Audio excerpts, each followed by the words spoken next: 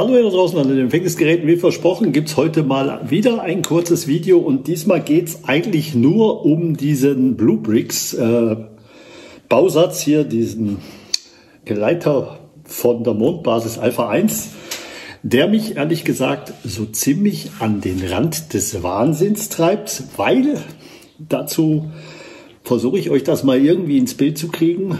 Ich hoffe, es klappt so einigermaßen. Ich bitte um etwas Nachsicht. Das Problem sind hier diese, diese Füßchen, nenne ich es mal. Da sind unten so kleine Beine dran und die sind hier mit einem Stein hier so rüber verbunden. Und das Ganze, wenn ich da, wie ihr schon seht, ist sehr, sehr, ich nenne es mal fragil. Wenn ihr jetzt hier oben anfangt, diese Gitterrohrgestänge, nenne ich es mal, dran zu machen, dann drückt ihr oben irgendwie drauf. Das geht nun mal nicht anders. Und dann brechen ständig diese Füße nach oben weg. Ich mache euch das mal vor. Das macht dann so klack und dann hängt es irgendwie hier so schräg. Der geht jetzt nicht. Ich mache es mal unten.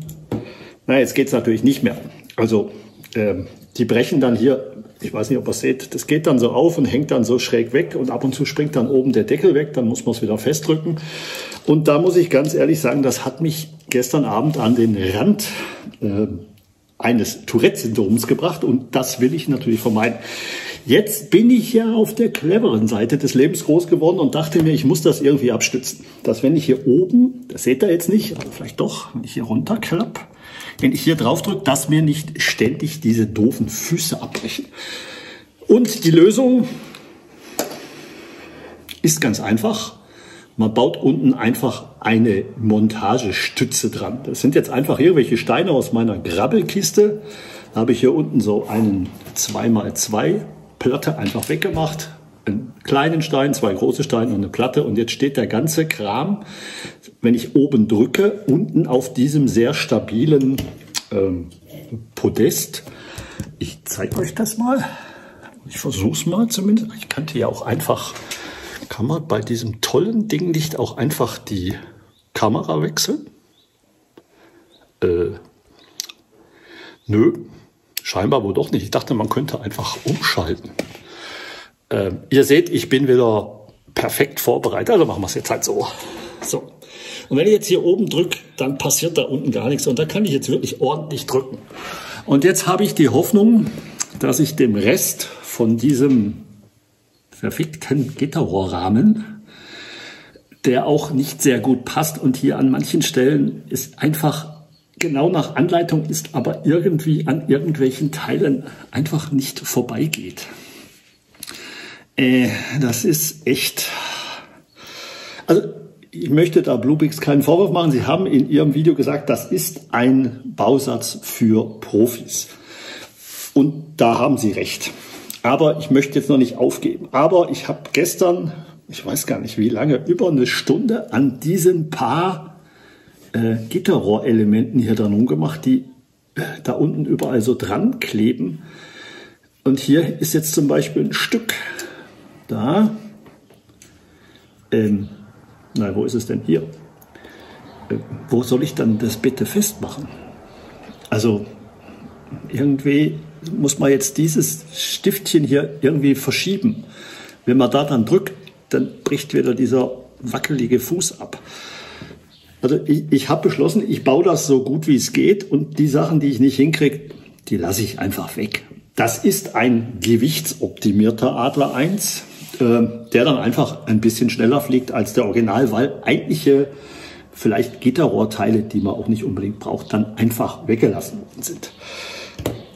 Ich das Teil in der zurzeit herrschenden Corona-Krise überhaupt noch fertig bin, möchte ich jetzt nicht, nicht sagen, weil es könnte gut sein, dass ich immer ein paar Gestänge baue und dann das wieder hinlege, ein, zwei Nächte drüber schlafe und dann wieder weiterbaue. Also Teile habe ich hier noch wirklich genug. Also da ist noch reichlich Material drin vor allen Dingen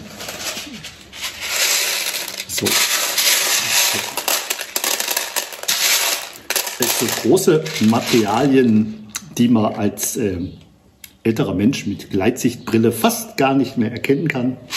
besonders wenn es abends hier ein bisschen dunkler wird. Da geht es dann weiter mit kleinen Teilen, die in den subatomaren Bereich fallen. Hier sind auch noch viele kleine Teile. Ich hoffe, ihr könnt schmecken, was ich euch sagen will. Also, ich lasse mir mit dem Modell Zeit. Normalerweise bin ich so einer, der so ein Lego-Modell kauft und dann drei Abende hintereinander äh, das zusammenbaut und dann in die Vitrine stellt und sich dann daran freut. Das muss ich bei dem Modell, muss ich eine andere Strategie wählen. Die Strategie wird heißen, ans Ziel kommen ist das Maß aller Dinge. Ich hoffe, äh, ich konnte euch fünf Minuten eurer kostbaren Lebenszeit irgendwie mit meinem dummen Gesülze äh, verschönern.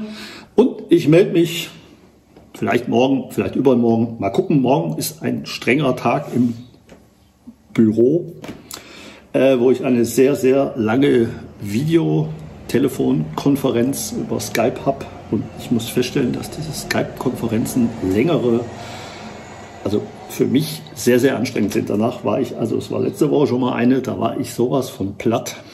Und ich befürchte, dass ich morgen auch wieder platt sind werde, ich wahrscheinlich nichts machen. Äh, mich dann mittags vielleicht, wenn das Wetter es erlaubt, nochmal aufs Radl setzen. Und vielleicht mache ich heute Abend noch mal was für an diesem Teil, was mir also von der Optik her, muss ich wirklich sagen, immer besser gefällt, umso mehr das reinkommt hier mit diesem, ich es euch mal so rum, mit diesem Gitterrohrrahmen, das, das ist schon, das sieht schon gut aus. Aber es ziert sich, das kleine Ding hier. In diesem Sinne sage ich wie immer, ciao, euer Kersten.